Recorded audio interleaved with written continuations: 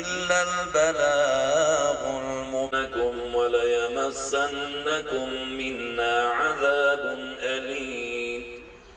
أنت السميع العليم.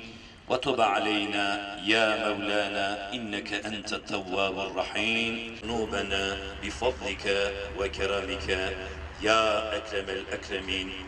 اللهم زينا بزينة القرآن. Topçuoğlu'nun 10.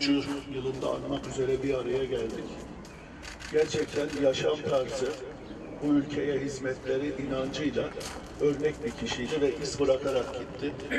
Zaman çok çabuk geçiyor, ölüm hepimiz için. Ama hepimiz yaptığımız işleri en iyi şekilde yapıp ne iş yaparsak yapalım iz bırakarak gitmek olmalı hedefimiz. Amcam bunu başaran insanlardan biriydi. Ben bu şehir için, Türkiye için, memleketimiz için, sanayimiz için bugüne kadar hizmetler olan bütün geçmişlerimize de Allah'tan rahmet diliyorum. Herkese de hayırlı günler diliyorum. Ayaklarınıza sağlık. Cümle geçmişlerimiz için Lillahi'l Fatiha.